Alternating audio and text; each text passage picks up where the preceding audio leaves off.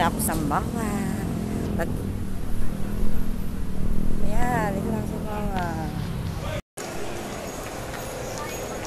Hello guys, good evening. Dito kami sa SM MOA with the besties, sila Christine and Hannah Bananas. Hi, Hannah Bananas! Hi, Christina! Anong B? Ang ganda-ganda mga mukhang artista. Mga top agents namin yan. Lalo na si Christine. TL na pala si Christine. TL Christine. Kasi nga na-promote na siya.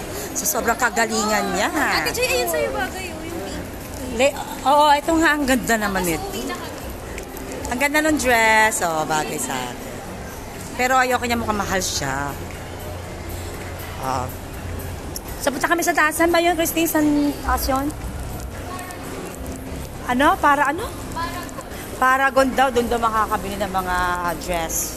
Hawaiian dress, Hawaiian at sa. I got my McDonald's ko. Choco ko. Yung mga ano lang, GPS rate lang, hindi tayo mayaman. Oh my God. Mukha lang tayong mayaman. Ay, ito pala yun. Pala yung Paragon.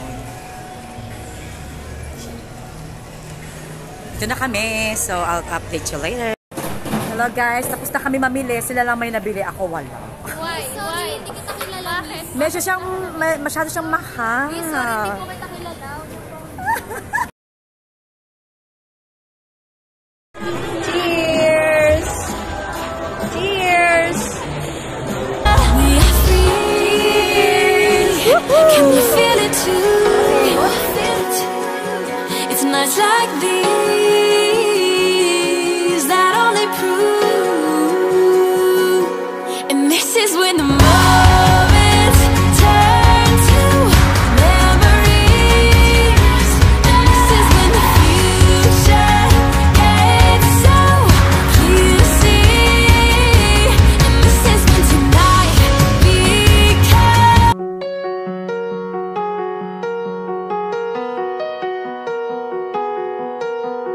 Windows down on my face.